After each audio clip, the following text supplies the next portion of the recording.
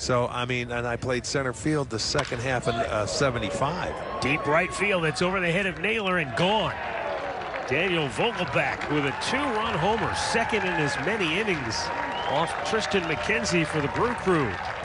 Vogelbach's first home run of the spring as Milwaukee back in front now four to two. Well, you know, when you walk that leadoff man, you're they're going to be ready to go and look for that early count and something, uh, you know, early. And there was a fastball out over the plate, and he goes out there and gets the barrel of the bat out.